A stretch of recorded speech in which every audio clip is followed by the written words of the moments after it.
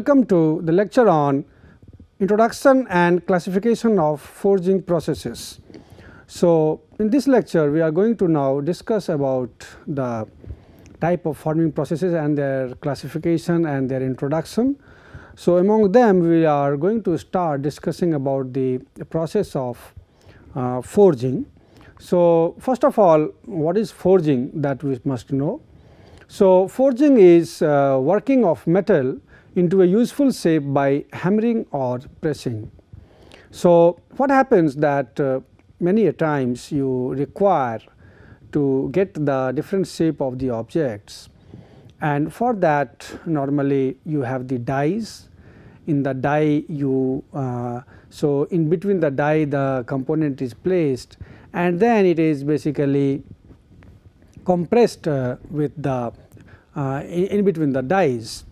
Now, that is what the forming processes are in the case of rolling you have two rolls and in between the uh, material will be compressed. Similarly, in the case of forging you have uh, two dies and uh, in between the material is to be you know pressed and uh, in that uh, there may be groove inside uh, the die. So, the thing is that whatever is the groove inside the die when the material is pressed the metal will flow uh, depending upon how uh, where it has to flow where it is getting the you know way uh, so that it flows. So, that way that is the process of forging and during that process um, uh, you, you, know whatever happens in the case of forming methods like you have the development of fibrous structure, you have the disappearance of any kind of uh, you know discontinuities or defects in the stock like uh, you have the blowholes or uh, shrinkage cavities they are disappeared. You have the development of fibrous structure also uh, when you do that process in sequence in a proper manner. So, that way uh, this uh, forging uh, method is you know carried out and most of the automobile components they are made by this process. So, in this case basically you are applying the force from the, the top or you are applying maybe on the sideways also you apply. So, that uh, it will go and it will compress it or it, you may also draw it you may can increase its length you can decrease its length. So, it happens uh, in, in that process. So, that is the process of uh, forging. Now, let us uh, discuss about the how we can classify these forging methods. So, as usual when we try to classify these different type of manufacturing processes, then first of all we uh, try to uh, classify based on the temperature. So, if we try to uh, classify based on temperature, then you have hot forging and cold forging.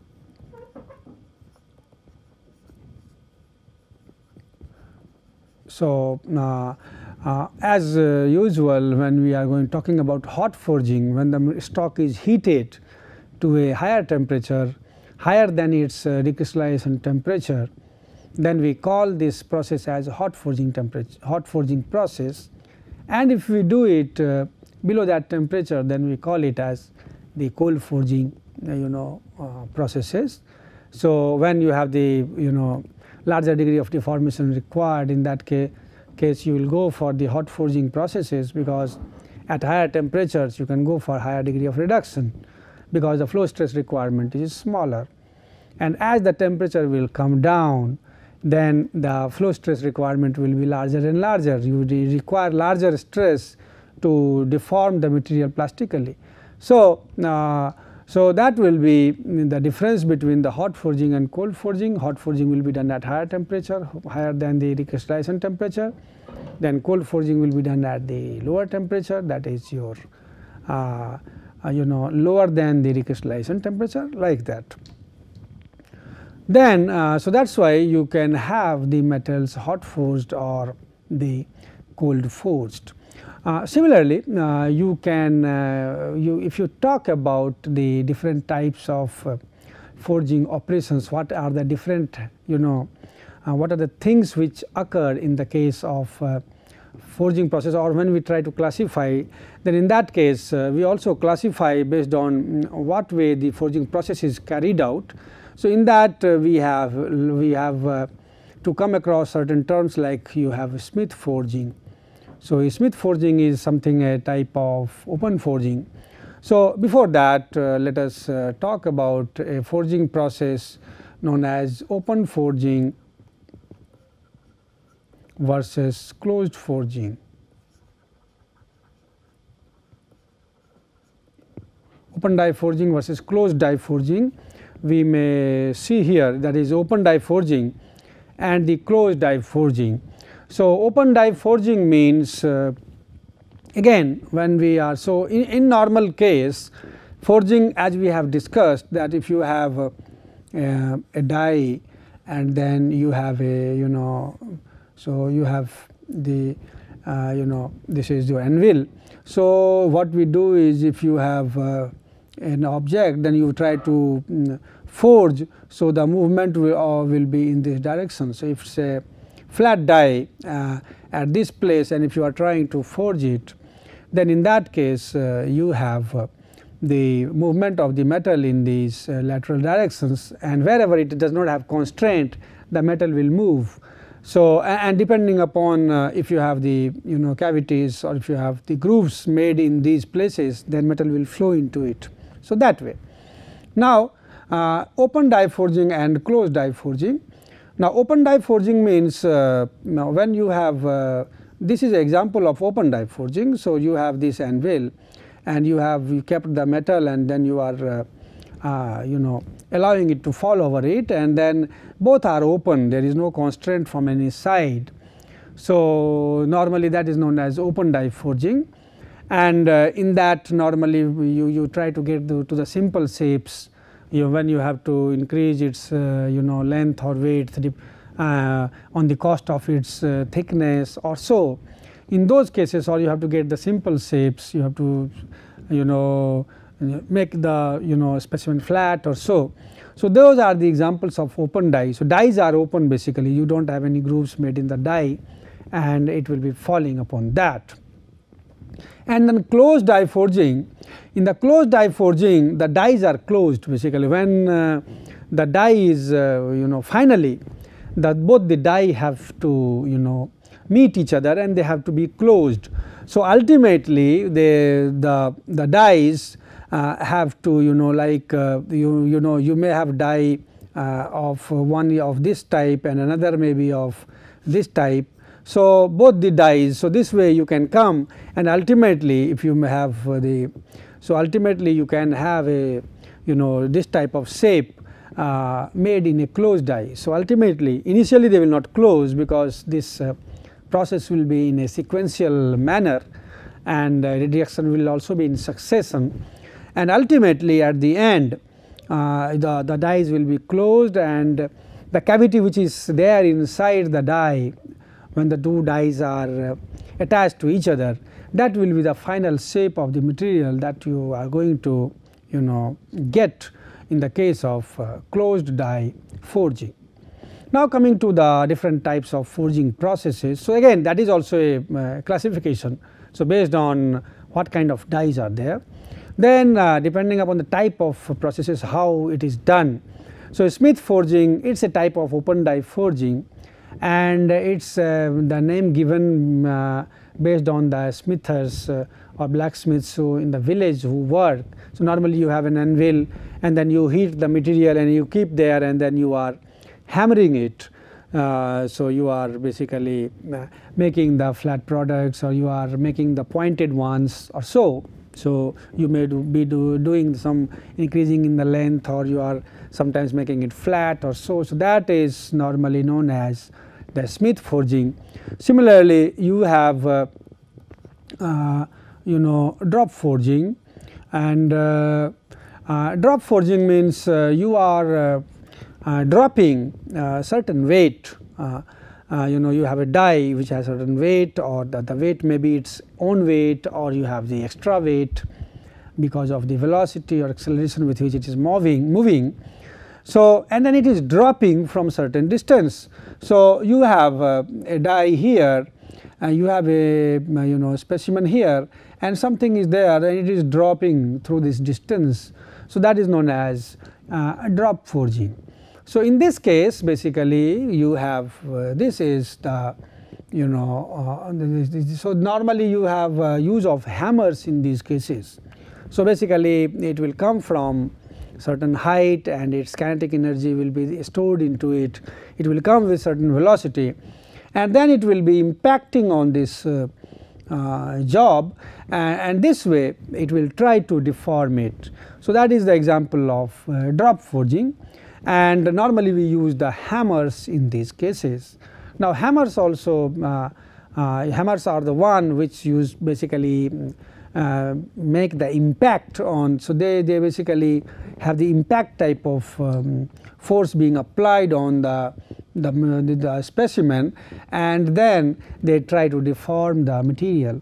So, so this is the type of uh, forging process where we use these hammers and that is drop forging. Then next will be you know the press forging.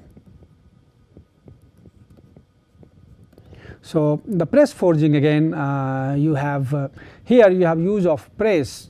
So, what we do is in, in, in, hammer as we discussed that you have the material and which it is uh, uh you know impact it is uh, the, the specimen is subject to the impact force from the hammer which is coming uh, from the top at certain velocity it, it is falling you know and then that basically deforms the material Whereas, uh, in the case of uh, this press forging what we do is that you do not apply the impact force rather it is squeezed continuously.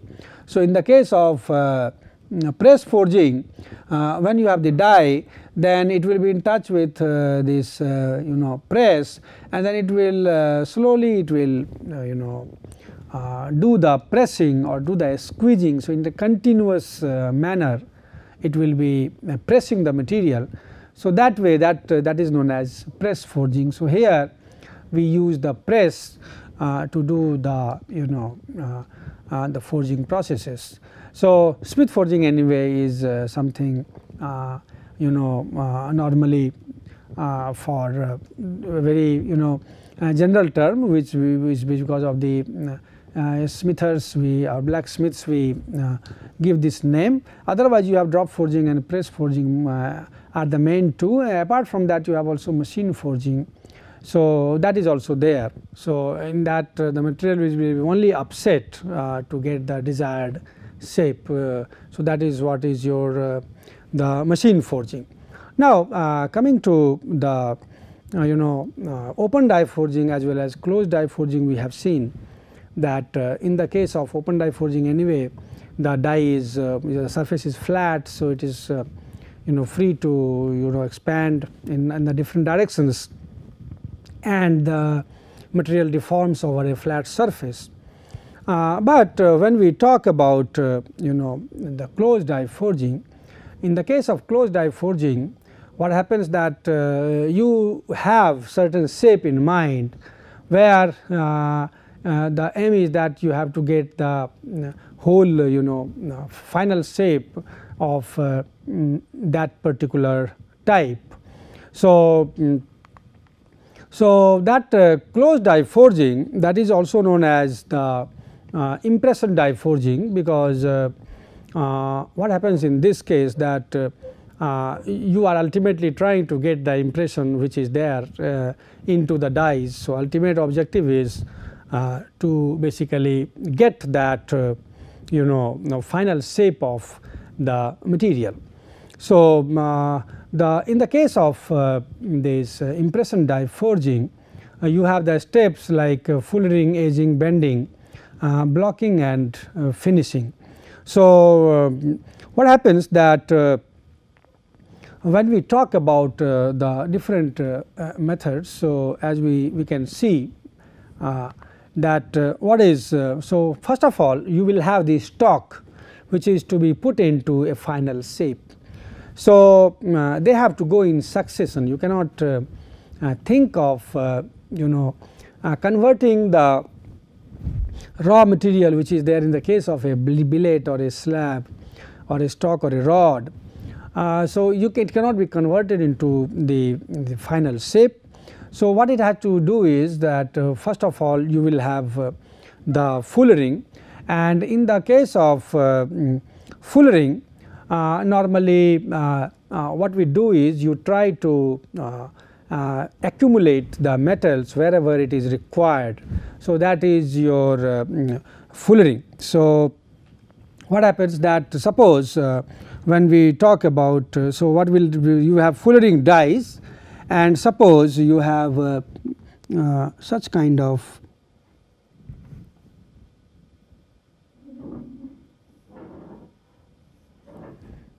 So, uh, you have uh, such kind of dies and in this case if suppose you are uh, pressing these uh, dies from uh, this side.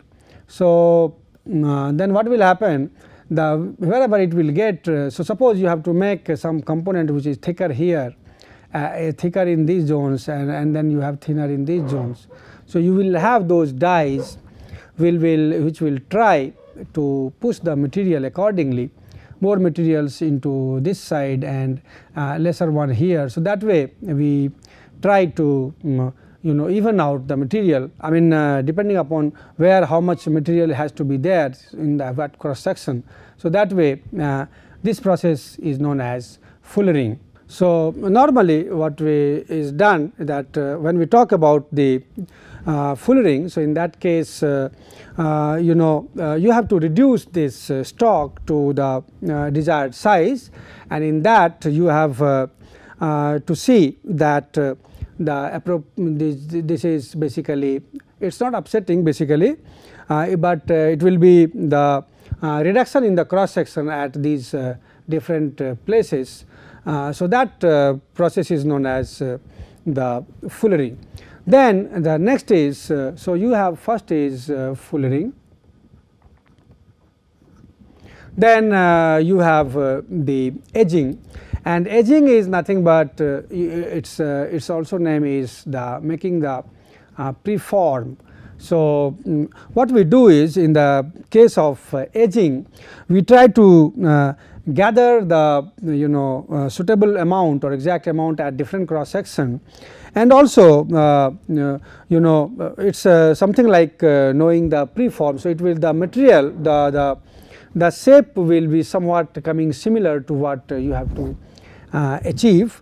So, you will have uh, so it will basically ensure that uh, you have uh, the defect free flow of material and you will have the complete die fill and minimum of the loss.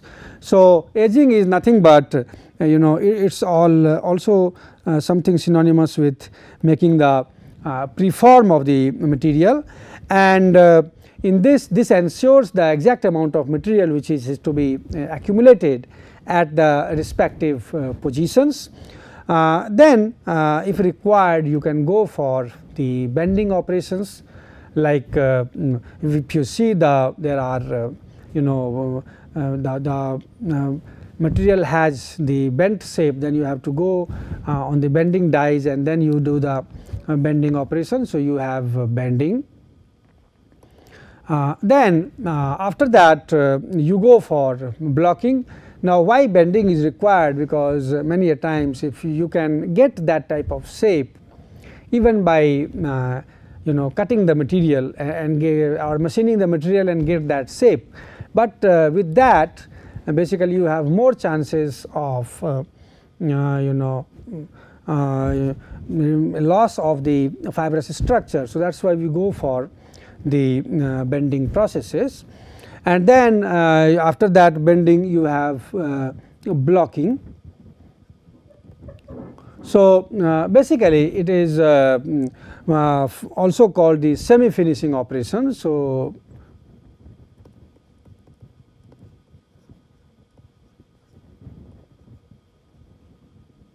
So, uh, you have the impression which is created which is uh, uh, semi finished and uh, uh, because uh, you know when we talk about the forging components now you have the pockets you have basically when we talk about the intricate shaped components you have many places it has to go over the bent there are radius and curvature uh, along which the material has to go and fill you may have the deep pockets uh, or the sharp corners.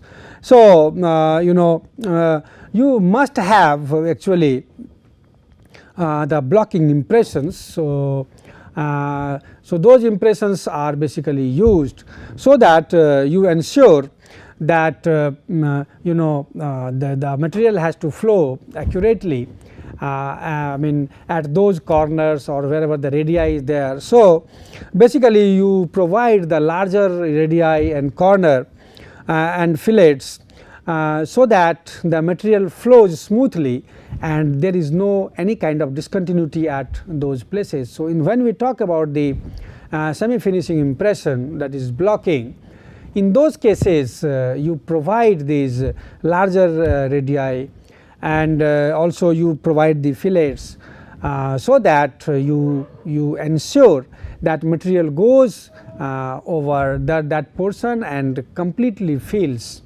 the mm, you know cavity. Uh, but still we are not considering about the flash. We are concerned with uh, the the EG you know you know passage of the material or EG movement of the material on the on those corners and uh, fillet positions. And uh, uh so that the material uh, moves uniformly without any kind of lap or any kind of defect structure uh, in those cases. Then after blocking you have the, the finishing operation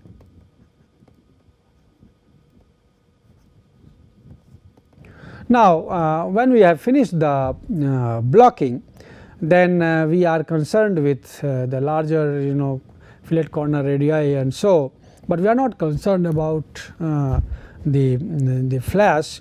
So, in fact uh, when we talk about the final impression this is finishing is nothing but getting the final impression of the material uh, which is uh, going inside. So, ultimately it will be dealt I mean it will be dealing with the final shape of uh, the material and uh, mm, basically that is ensured when uh, you also uh, you know come to a conclusion or, or, or, that is characterized by some event like uh, you, uh, you are assured that you know there are you have some extra material which have which was there you know in the stock and that extra material basically has come out.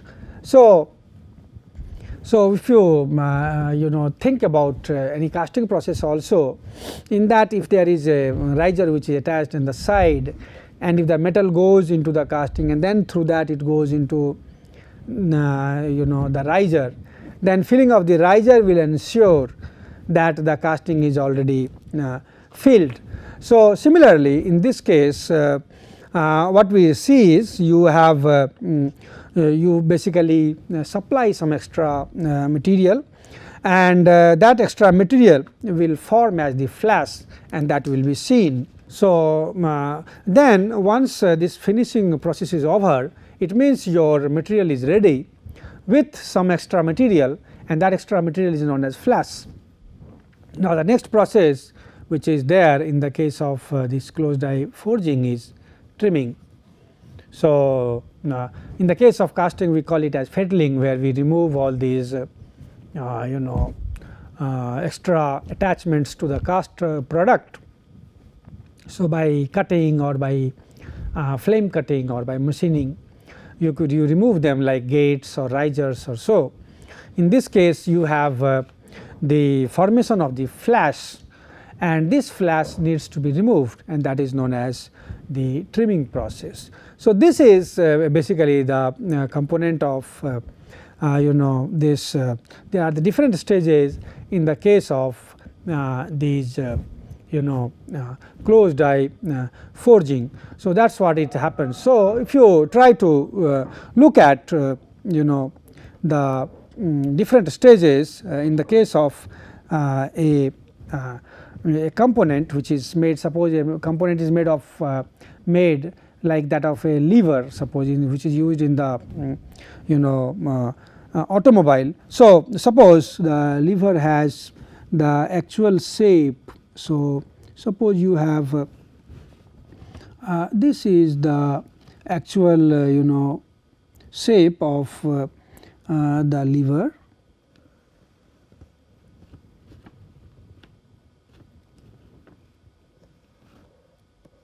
Suppose uh, that being the one which is you know a liver is to be made and uh, this is your uh, final shape of that lever. Now, the thing is you have a stock which is normally of you know any shape which is very plain shape or so. Now, you have to convert this into a lever. Now, for that uh, first uh, you know you will have a stock. So, the, the stock is uh, in, the, in this shape. So, this stock is there. So, this is the stock it is raw material and this is your final shape. Now, how to get it in this? So, uh, this stock material will have to be passed will have to pass under these three these successive uh, you know stages and uh, finally, it will come to this shape. So, first is uh, you know fullering and as you know that you have uh, uh, in this side this is the size of which is uh, here and, and, this side you have here. So, this is somewhat smaller. So, first of all uh, you, what you will do is you will make a component like uh, uh like like this you you will make uh, uh, in the fullering die. So, so this way you you get so so so this way when you are trying to give under such die and it will you know increase its length it will you know Uh, draw out it and uh, then it will uh, come to its uh, this shape that is known as fullering. Then coming to the edging. So, for edging what is done now is now now you will further mm, uh, you know bring and gather the the metal to different regions and then you have this so so this way so this way you are going to get so that will be your edging. so the here basically the the amount which is required in those uh, you know regions that will be accumulated. Then if you require the bending so for that what you do is you you put it under the uh, bending dies and then it will be basically bent. So so it will be uh, it, it will be bending like this and then so you have put under the uh, die and then it has uh, you know uh, bent. So, um, that is uh, your use of the uh, bending dies to uh, shape the component in the by bending it. Then you have blocking and in the blocking what happens is that now you will put under this this is semi finishing operation. So, that way now it is all on the bent specimen and then uh, you will have uh, the formation of these. So, but uh, here you try to ensure that uh, the the material which is there which is flowing in in the you know you have uh, some extra material, but anyway here we are not concerned with uh, defining that and uh, when we go to the uh, finishing at that time again uh, you have uh, in that. So, here you ensure that the material has felt has, has filled all the regions. So, that will be further the finishing stage and then so it will go like this and then you have uh, this structure made and you have these extra regions which is uh, the, the trim. So, here you ensure that this extra material which is there at the parting plane that is uh, uh, done and then ultimately you are removing this uh, uh, this extra flash and that is removal is known as trimming. So, these are the different stages in the case of the closed die forging. So, this is about the you know impression die forging what we uh, have discussed and uh, there are certain uh, you know considerations which are required to be seen. You provide these you know extra metal so that there is complete filling of the cavity. Excess metal will come out of the cavity as thin ribbon of metal known as flash and then to prevent uh, prevent the formation of wide flash, flash gutter is provided. So, that is because uh, you know if the mm, you know if it is too wide then uh, so so that way uh, uh, because the, the temperature goes uh, less and and then the resistance will be there. So, it will require larger and larger force to further you know press it downward. So, that is why this gutter is provided in, in such cases. So, these are the you know considerations when we talk about the closed die forging. Thank you very much.